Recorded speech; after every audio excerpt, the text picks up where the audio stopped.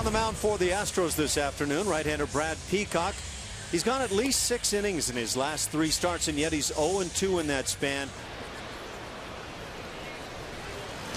That is just out of the strike zone, apparently. Ah, the swing is what did it for the strikeout for Peacock on appeal to Will Little at first base. Would like. Strike three. Dunn caught looking, and he strikes out for the 40th time. That's strikeout number two for Peacock. Number.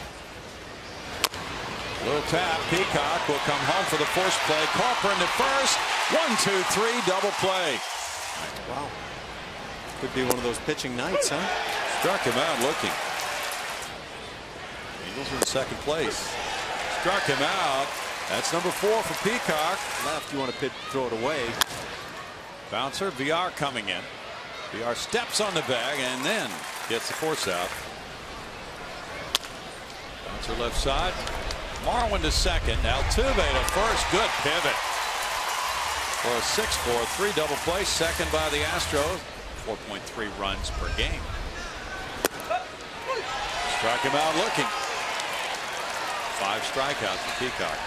Been a very good outing for him. Six and two thirds. That ties his longest outing of the year. And the fans are loving it. Brad Peacock walking off